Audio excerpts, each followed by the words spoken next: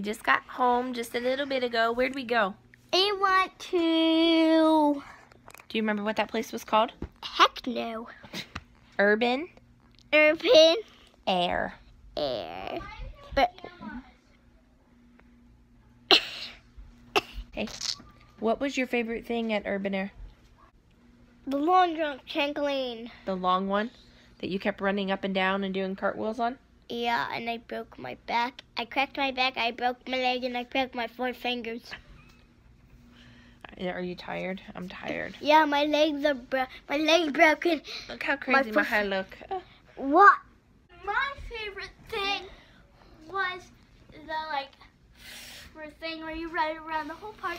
My favorite thing was the rope course.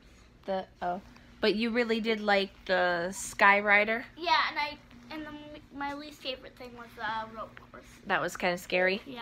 Favorite thing. It was pretty fun.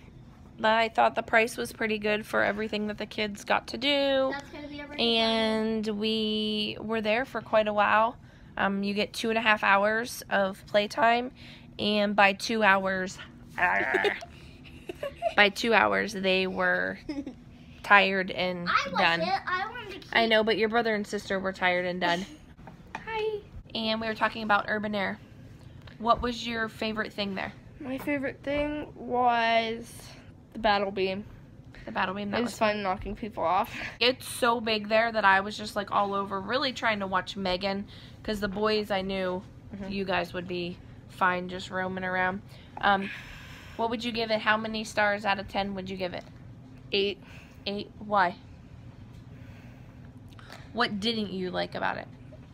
There wasn't anything I didn't like. It was just it was super packed and kind of hard to get around.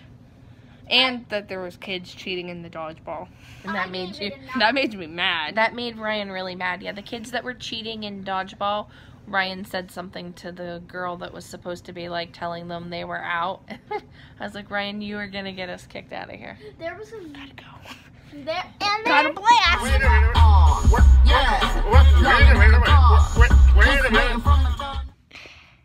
going on, sissy?